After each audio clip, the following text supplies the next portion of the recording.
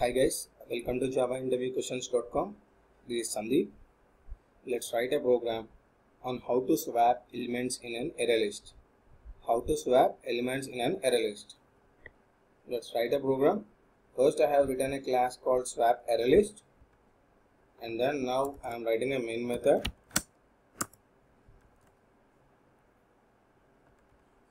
let's write the steps what we need to do first create array list and add elements to the array list.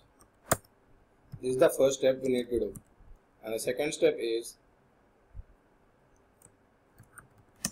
pass the array list to collections dot swap method which takes which takes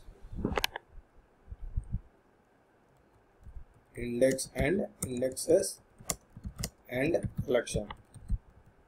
So here the indexes in a sense from which index we need to take the element and we need to swap with which index element. Okay? So these are the two steps we need to do. First uh, we'll create an array list. I'm creating a list of integer array list new array list of java.util.list now I am adding few elements to this list. List add one. List dot add one. List dot add uh, two list dot add uh, 3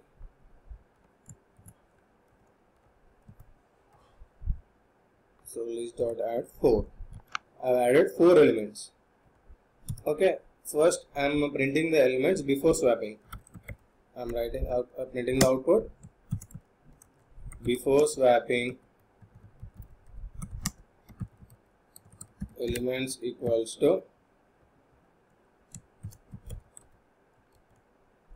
and now what I'm doing is I'm calling collections dot swap method.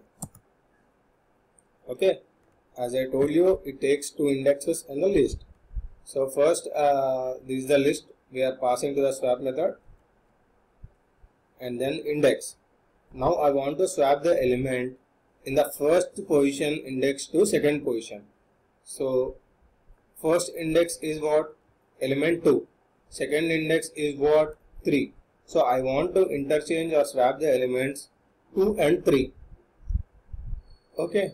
For that I need to use index 1 index 2 so index 1 element is what?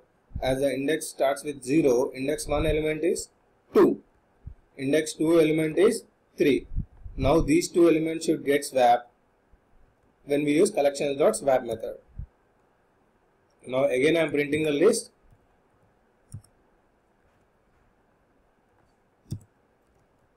Now I am calling this as after swapping elements. Let's run the program and see the output.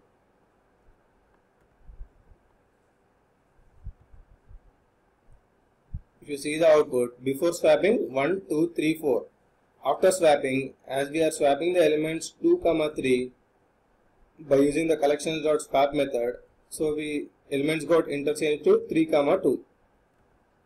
Okay, this is how we swap the elements in the list.